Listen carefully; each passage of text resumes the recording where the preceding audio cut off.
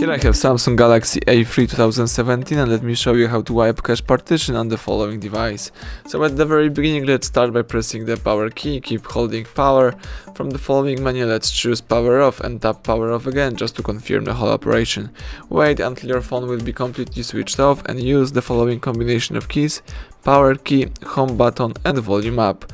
So let's hold down together these three keys for a couple of seconds Release all keys as soon as Samsung Galaxy A3 logo pops up in front of you.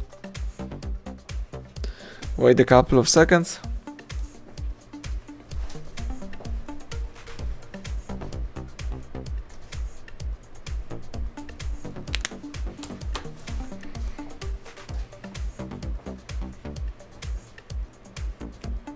And as you can see the no command logo pops up so now you have to start holding power key and by holding power key press volume up once.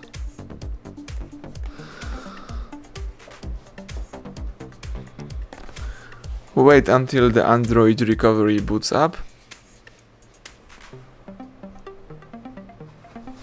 And that's it. So here you can navigate by using both volume keys and confirm options by pressing power button.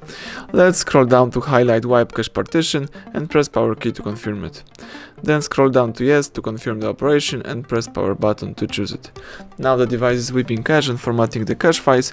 Into, it won't delete any personal data, it just remove the temporary cache files on your device so sometimes it's good to refresh your cache files and now as soon as Android recovery menu pops up again let's press power key to reboot system now and the Samsung Galaxy A3 is restarting and rebooting. Let's just wait a few seconds until the home screen pops up and until you will be able to use your device.